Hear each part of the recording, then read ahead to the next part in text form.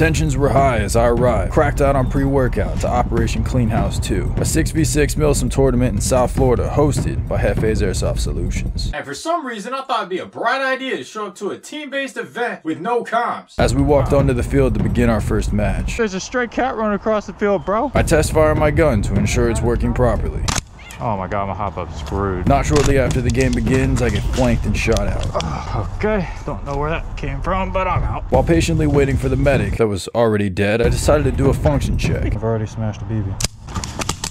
Now I'm upset. I haven't played Airsoft in 9 months, I'm down to a pistol and only captured one objective. After that kick in the nuts, I felt the need to redeem myself. There's only one way to do that, and only one place I can go. Today I'm at Miami Airsoft. and I haven't played Airsoft in nine months, so we're gonna see if my skill is stuck with me. I'm gonna use my $3,000 AEG to take out as many speedy boys as I can.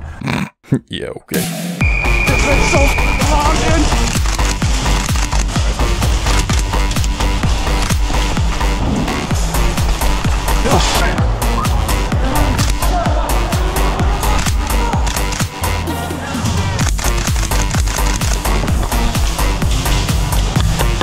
Come on, dude.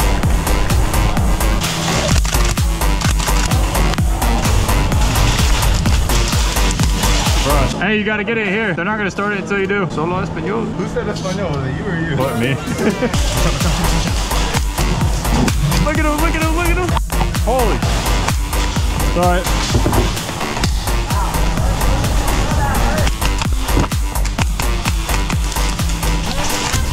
Buddy. What's up? what? Yeah? What's up, dude? I'll be here, you be talking. That's the best part of my videos, apparently. If you enjoyed this video, the raw gameplay will be out in a few days, so make sure you're subscribed. Also pay attention to Hefe'sAirsoftSolutions.com for information on Operation Clean House 3, which I will be at, I will be prepared, and I will not hold back.